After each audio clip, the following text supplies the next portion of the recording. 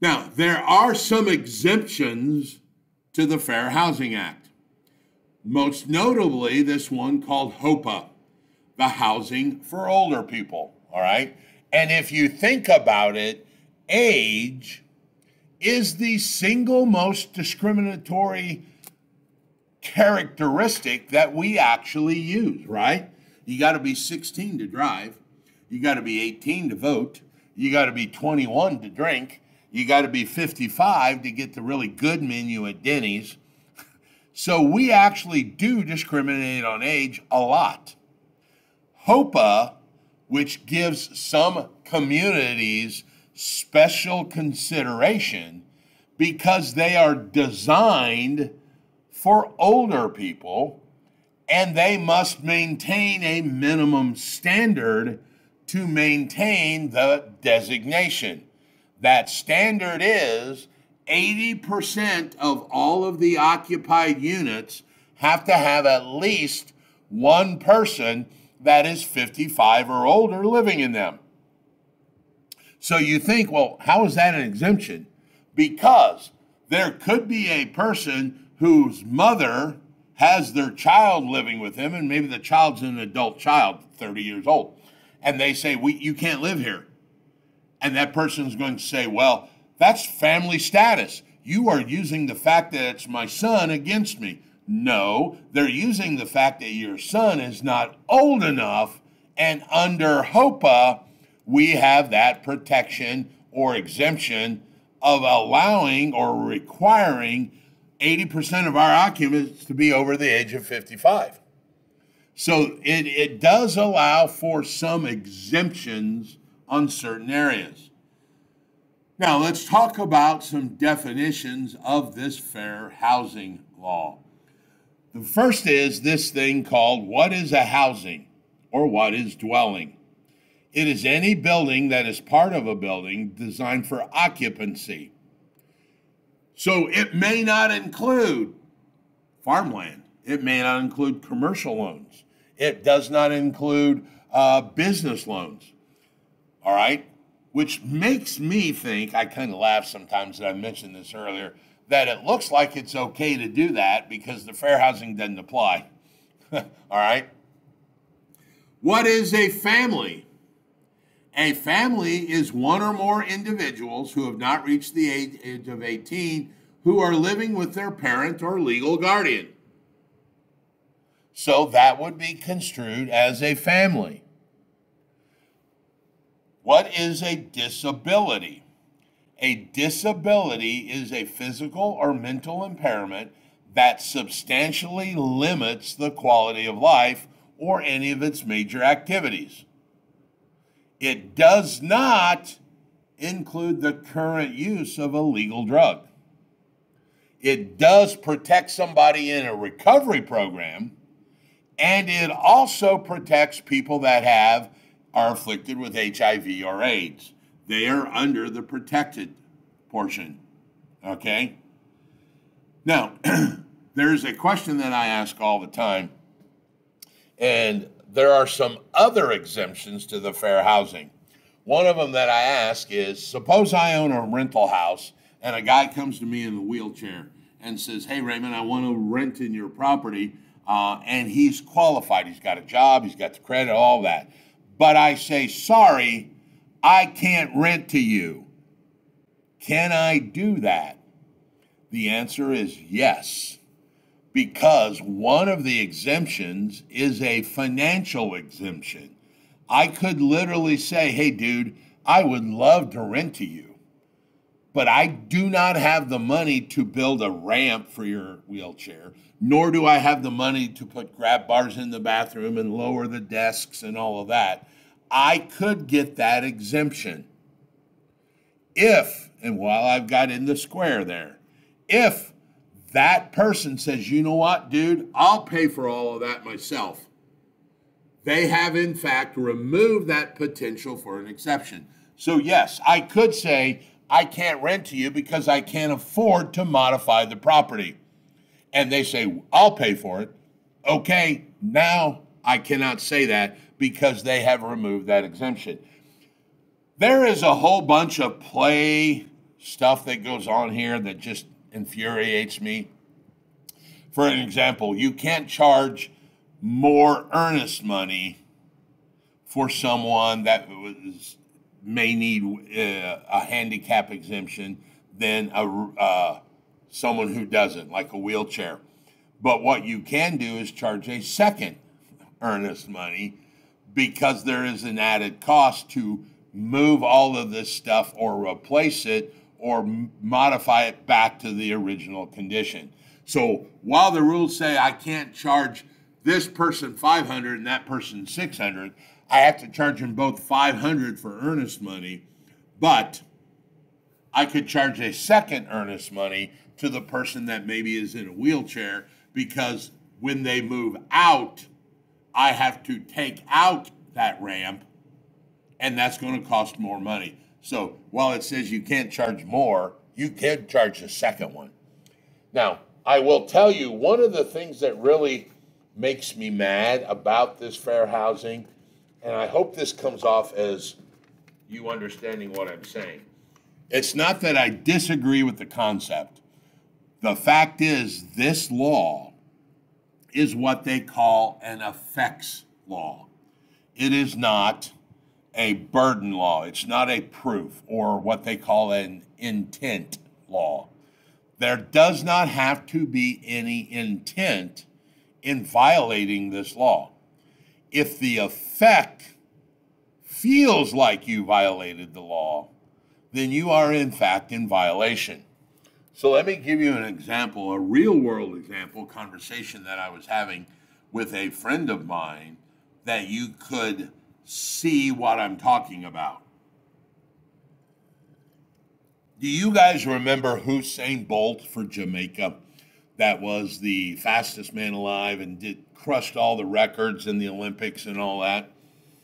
So I was talking to a buddy of mine about him because we were in Jamaica. And if you've ever been to Jamaica, it's hot. and I was joking, saying, Well, you know why he ran 100 yards? Because it was too dang hot to run a marathon in Jamaica. So he'd just run short distances. That's what I was talking about. And I said, So because of that, he got really fast. And the buddy that I had was talking to me, and he turned to me and goes, Well, yeah, that's true, but you know they are all fast. Really? What are you saying, Daryl? Are you telling me that he's fast and they're all fast because he was black? And Daryl said, Oh, no, no, no, not at all. What I mean was all of the sprinters. I mean, even the guy from Ireland would outrun me. That's what I meant. All those sprinters in that were fast. That is a very classic example of there was no intent on his part to make a racial comment, but I took it, and therefore my feelings were that it was a comment. This is exactly what I'm talking about. It is not an intent law. All right? if you say something and someone else believes that you said something wrong, that could be a violation.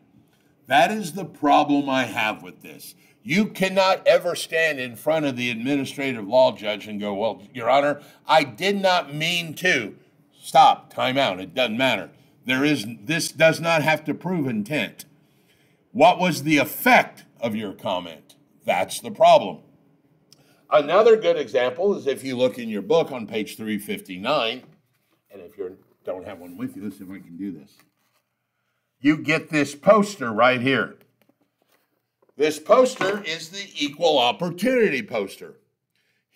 If you fail to post that, the assumption is you are prejudicial by nature and you are automatically fined $500 when HUD, who will shop you, comes into your real estate brokerage. So the fact is, I have to tell people that I don't discriminate. And if I fail to tell them, the assumption is that I do it. I have a problem with that personally. Should be, dude, I don't discriminate. Nobody should. And only when you find me doing something should I found guilty. That's not how this works. If you don't prove yourself innocent, i.e., post that on the wall, you are assumed to be guilty. Now, I will say on the bright side, it's not a real extensive posting. You literally could print that page off out of your ebook and tape that to your wall right here, and that would be acceptable. But the failure to do it is basically they think admitting that you must discriminate. Because you're not saying you don't, you must. And therefore, that's a fine. So that's actually a problem that I have. It's an effects law, not an intent law. And you actually have to prove yourself innocent before they find you guilty. Okay? There are other exemptions to the Fair Housing Act. If the house is being sold or rented by an owner occupied person who does not own more than three homes, they may be able to get away with a violation or two. Probably not sell, said the correct way, but I don't know really how to say it. They may be not subject to the, basically, somebody has to report them. So, an owner occupied property who does not own more than three homes at the same time. Who would own more three more than three residential homes at the same time? Who would ever do that? A landlord.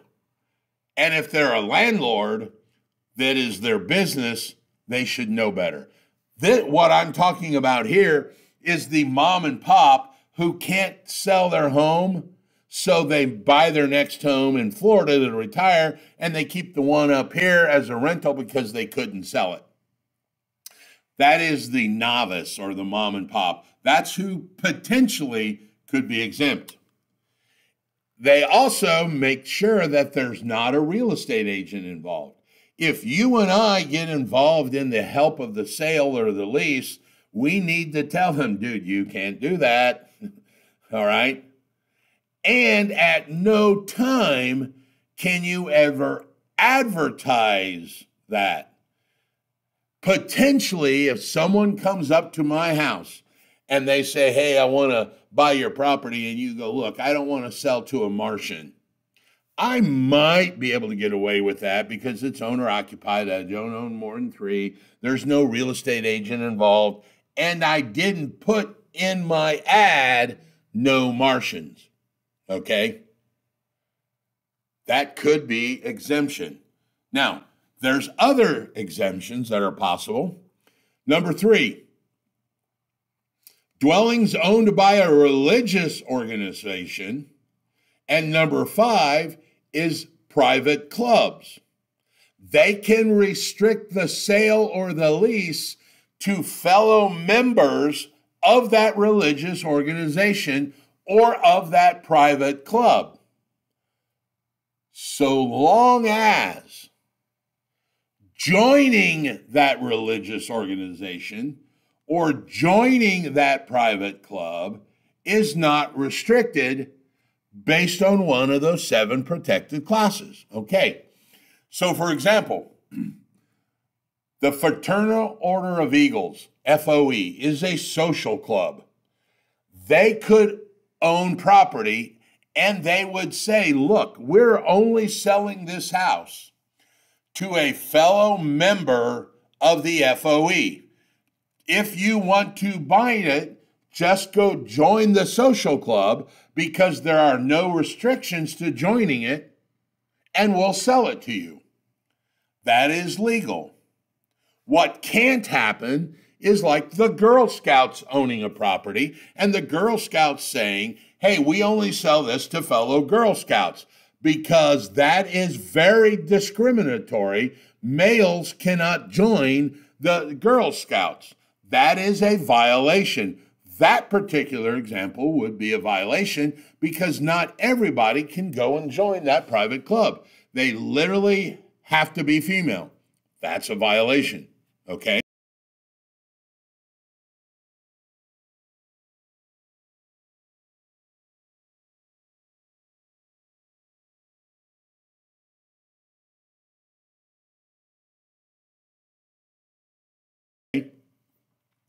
Another exemption is what we talked about is the HOPA, the HOPA people.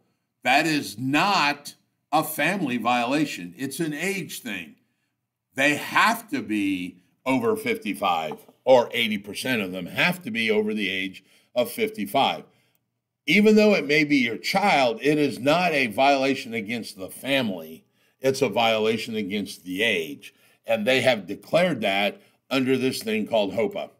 All right. now, there is a second law that we deal with, and it's kind of thrown in here, is called the ADA, the Americans with Disability Act.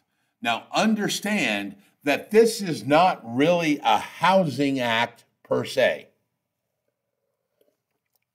It is more of a consumer and employer act, but because we, in our business of housing, deal with employees working at my company and we deal with consumers, we get brought into the ADA, and there are two titles or articles or sections, however you want to look at it, they call them titles.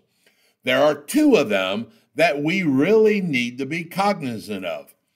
Title one covers the employer making reasonable accommodations for their employees with disability. Now, I want to stress that reasonable accommodations. It is not absolute.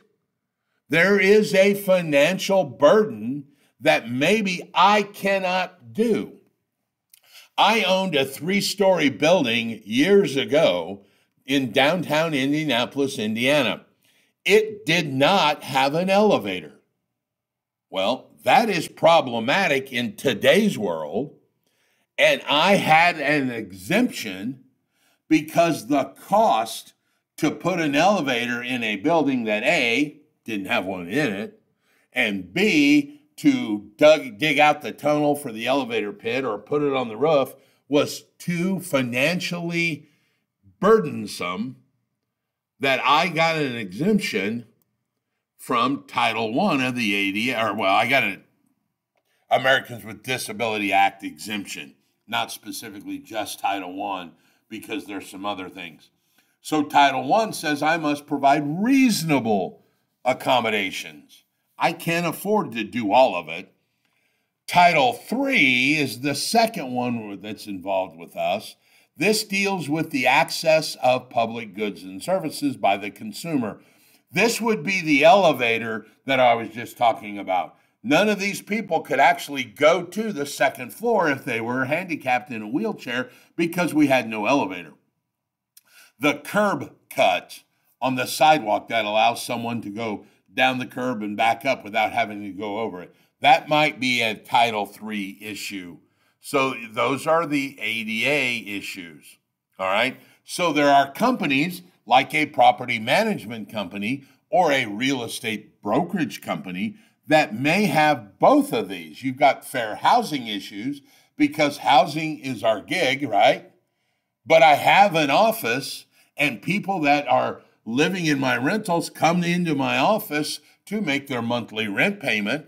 I would also have Title I issues because I've got an employee sitting in there who may have a disability. So I've got to have grab bars in the bathroom. I got to have a lower desk, maybe the TTY phone. And then I've got Title III because the consumer is coming in and they need to get down the stairs or up the stairs or on the curb or special parking to get into my office to pay the rent.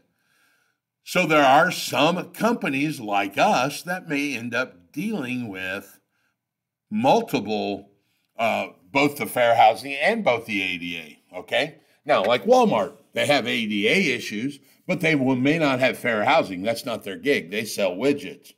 Okay. Now, when it comes to fair housing, there are some issues that have been in place for years, and some of them, unfortunately, are still around.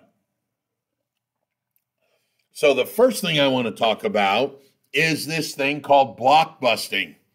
Blockbusting is when a person would induce a panic sale. And sometimes you hear the word called panic selling. All right.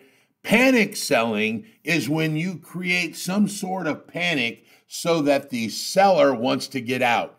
A good example might be is, hey man, did you hear the airport? Yeah, the airport bought your neighbor's house and your house is going to lose value because the airport's going to be right in your backyard. That would be panic selling.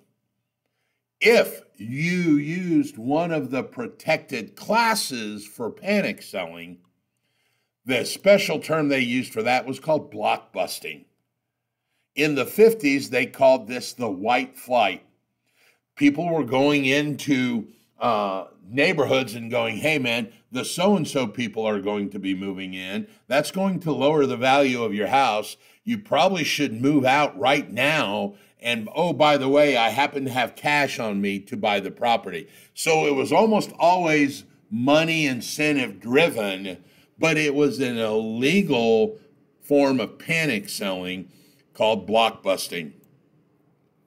Steering is when you channel a home buyer towards an area or away from an area based on one of those seven protected classes. Even if they ask and you think you're right. I had a client that came in to me and said, Hey, look, I don't speak English. I want to live in an area that is Hispanic. Now, I'm bilingual, I speak Spanish. So I was talking to him, and he said, I want to live with the other English or Spanish speaking people. So I told him where we're going to go. I said, Great, we need to go to this area of town. This was my, believe it or not, my second day with my license. So it's been a long, long time ago. He said, Okay, I want to go get my wife. We'll come back and talk to you. So when he left, my managing broker at the time stepped up and goes, Raymond, what are you doing? I said, Well, I've got a client and he wants to go find property. He's like, No, dude, you're steering. I said, But he asked me. I don't care. You used one of the seven protected classes, namely his national origin and or his race, to guide him towards an area. So when this guy came back in, he's like, "Hola, I'm like, ¿cómo te va?" He's, he, Andy came out and said, "Look, we can't do this. You need to go to the Hispanic consulate and figure out and do your own statistics." So a couple weeks later, he came back in and said, "Hey, I want to, I want to go to this area of the city." And I turned to my boss and went, "Ta-da!" Because it was the area that I named. But the fact is, he gave me now a geographic region which we can discriminate on. People do that all the time. I want to live in the water, I want to live on the north side. What I did was try to steer him towards a specific area based on my intellect. And that is called steering. And I know what you're thinking, even if you're trying to help. All right. So we told him, dude, you go do your own statistics, do your own study, do your own research, come back and tell me where, which is exactly what happened. Now, here's another one that I have trouble with the advertising law. The advertising law is a problem. Once again, I am going to read something out of the book that says, uh, advertising in a Korean language newspaper only tends to discriminate against non Koreans. Well, duh. So the first question of the day is what's the official language of the United States? Somebody tell me. Go ahead, type it in the text, send me an email. And I'll tell you right now there is none. We don't have one. The United States does not have an official language. It just so happens that most of the people that landed here first spoke English, therefore we speak, speak English. But it is not our official language. So, in that example, advertising in a language indicates a preference or a limitation that's discriminatory against one population or another, and you're using that target to exclude others. I personally know personally at least six people that don't speak English. So even if I put an ad in the yard in English, it technically violates this rule. You cannot not violate this rule. All right? I know there's an agent on the west side of Indianapolis who puts all her stuff in the uh, Spanish language. I get what she's doing. She is helping a underserved community. Or on the south side in the Burmese language. I've seen for sale signs in Burmese. I get what they're doing. I understand the warm and fuzzy of trying to help one of these, what Wells Fargo calls them, the emerging markets the Indian market, the Burmese market, and the Hispanic market. That's what Wells Fargo calls their emerging markets. I get it. However, based on the fact of what this literally says, it is actually a violation of the fair housing. Even doing it in English technically violates this rule because there are people that would be excluded because they do not speak that language. So, once again, this is one of those where it's a warm fuzzy, and we all feel good by saying, well, we don't discriminate. But technically, under this definition, you do. Unless you're putting the ad in the German newspaper, the Hispanic newspaper, the Japanese newspaper, the English newspaper, all of the languages, which we know is asinine that you can't even come close to doing, technically would violate this rule. When an appraiser appraises property, he cannot use one of those protected classes to influence the value of the property. He can't say, well, you know, if this would have been in this neighborhood, it would have been 100 grand more. This next one, actually, uh, I think Wells Fargo just got caught with this several years ago. It's called redlining. And literally, what would happen is, it's, uh, clear this out so we can see. Redlining is where they would take a map, literally with a red marker, and go, okay, do not do loans inside of that circle because of the so and so people or because of the so and so issues or whatever. That would be redlining.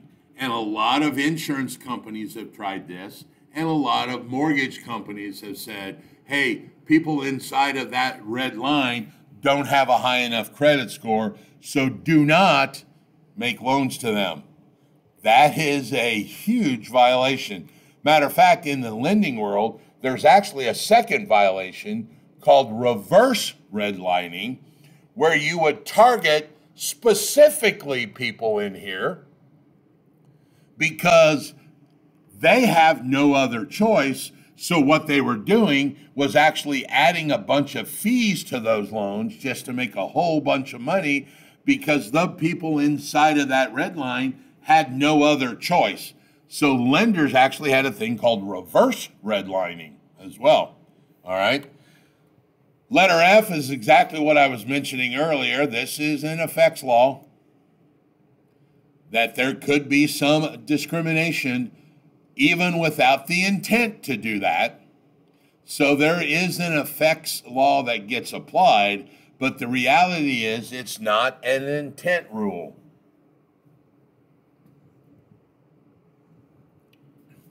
People are worried about terrorism now, and they think, you know, there's this certain group out there that are terrors, terrorists. You've got to be careful that you cannot um, what's the word I'm looking for? Um, where you just automatically assume that they are. Gee whiz, I just lost my mind. Uh, predict that because they are of a certain nationality, they are also going to be terrorists. So you got to make sure you don't violate any of the fair housing laws. All right. Now, if there is a violation or there is a assumed violation, a consumer can make a complaint. And they would make the complaint to the Department of Housing and Urban Development. And they have to make that complaint within one year of the act. All right? So they have to complain. If they believe there's a violation, they have to complain within one year. Now, what happens is HUD will investigate to see if there is a violation. And the very first thing they will do in this investigation is this thing called conciliation. Conciliation is where both parties hug and make up and move on. You know, this is where now you can kind of explain that lack of intent. So HUD would bring both parties in and they're going to go, hey, look, Daryl, you made this comment that seems racist. What are you talking about? And he's like, no, no, no, no. I didn't mean that all black people were fast. I meant that all the sprinters were fast in the Olympics. And I, as the one that felt the violation, go, okay, I agree with that. I believe he was probably not. That would be conciliation. We both agree and HUD says, okay, hug and make up and move on out. That would be the first attempt is to resolve it through conciliation. Now, if they determine that conciliation, if I said, look, dude, I don't think that's what he meant, he's lying to you, I really think he's racist, then we would go in front of this thing called the ALJ. The ALJ, in my opinion, is the worst judge in the world because they are the judge, the jury, and the executioner all in one person. It is one person. Now, EPA uses ALJs. Um, what's the other one that uses ALJs? The uh, OSHA, the Occupational Safety and Health Administration, if there's an OSHA violation. So it's one person that will come in and he will listen to both sides of the party uh, parties, and he will make a decision if there's a violation, and he will actually award damages or impose the civil penalties. He is the judge, the jury, and the executioner. Now, there somebody has told me that these three questions were on the exam. I have a hard time believing that because I will tell you, I have been teaching this course now 20 years. And way back a long time ago, the very first one, the first offense was only 11,000. I remember that. Now they're saying it's 21,000. I don't see why we would need to memorize that, but someone suggested that, not me.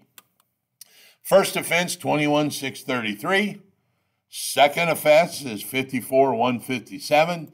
And then the third offense is up to, look at this, 100 grand or, uh, or potentially and seven years in jail. Dude, if you have been found guilty three times of violating the Fair Housing Act, you better rethink your strategy on what business you're in to begin with. Okay? So, just the thing that I like to notice is just notice that the penalties escalate. It's not like double for the second one or double for the third one. You know, it is a huge amount.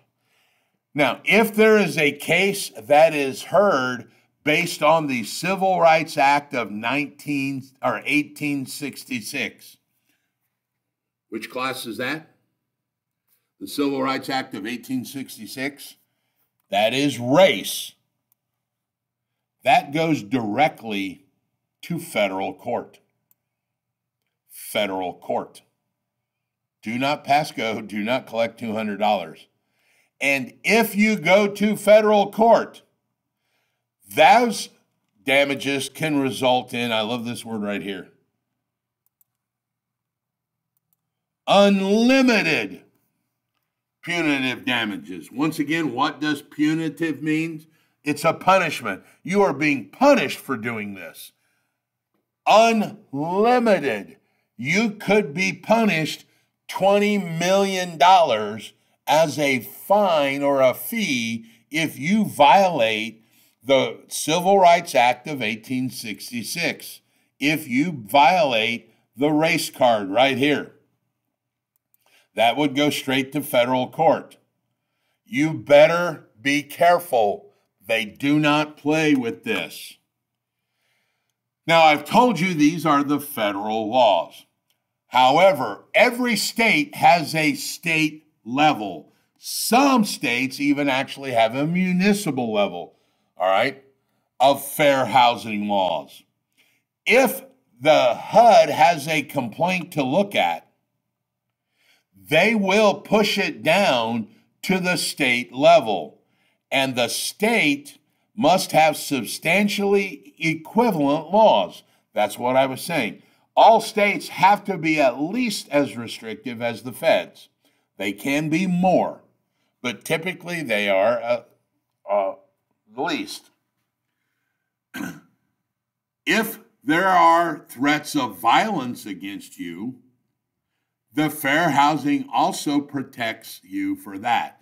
You can adjoin your client's lawsuit. So think about this as a white male, I can actually file a racial discrimination lawsuit if my client filed one. If I had a client that felt like they were discriminated based on race, so he filed a fair housing lawsuit, because I am an extension of my client, I am part of him, and I got harmed because, hey, he didn't buy, I didn't earn the commission, I can actually file with him as part of him. So I could, in fact, file a racial discrimination case. Now, what does this mean for you guys? Well, it could mean a whole bunch of things. You theoretically could lose your license out of the gate. You could get fined a huge penalty. Remember, unlimited. You could have serious repercussions to your reputation. People may not use you anymore. Not only could you, maybe you didn't use your license, but people now believe that you are, you know, a racist individual or whatever and won't use you. So there are a whole bunch of implications that could happen to you because of this. So please be careful when dealing with this. This is not something they joke around with. All right, so that's fair housing. There are the seven protected classes. There are some exemptions in there, so make sure you understand what could be exempted from that fair housing. Also, there are some illegal activities that we discussed, like the blockbusting and panic selling and redlining. And I guarantee that you guys are going to need to know the Civil Rights Act of 1866 brought in race. The Civil Rights Act of 1968 brought in these other three. Then the Community Housing and Community Development Act brought in sex. Then the amendments of 88 brought in the disability and familial status guarantee you're going to need to know which law brought in which protected class. All right. I suggest down here you guys do some more uh, practice questions at the bottom of this online section. There are also questions in the back of your ebook that can help you. And if you have further questions, I'm here. This is what you're paying me for. All right. Feel free to reach out to me at raymond at realuniversity.com. I will catch up with you on the next chapter. See ya.